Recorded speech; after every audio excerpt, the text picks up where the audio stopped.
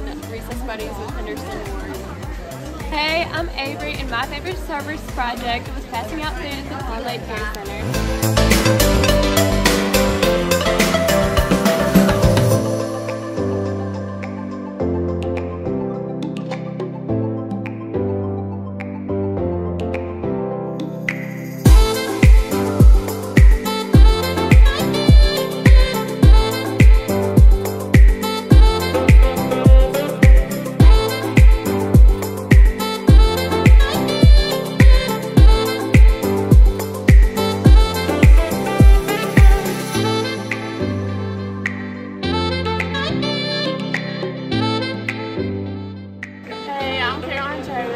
Lane, and we love making the blessing bags.